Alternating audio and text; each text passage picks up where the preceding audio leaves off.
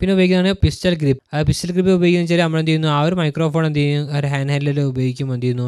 Correct എന്ത് ചെയ്യുക? Grip ചെയ്ത് പിന്നെ കയ്യിൽ ഗ്രിപ്പ് കിട്ടാൻ വേണ്ടിയൊക്കെയാണ് അതിന് ഉപയോഗിക്കുന്നത് പിന്നെ വിൻഡോ സ്ക്രീൻ നേരത്തെ പറഞ്ഞു. എന്ത് ചെയ്യുന്നു? ഒരു നോയ്സുകളൊക്കെ ഒഴിവാക്കാൻ വേണ്ടി എന്ത് ചെയ്യുന്നു? ഉപയോഗിക്കുന്നു. ഇത് എന്ത് ചെയ്യുന്നു? ഉപയോഗിക്കുന്ന. Window screen three D text material അത്രയും പരിപാടി എന്ത് ചെയ്യുന്നു?